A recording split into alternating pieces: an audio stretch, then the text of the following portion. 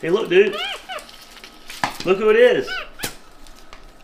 Yeah, I need that one. It's Frosty the No Man.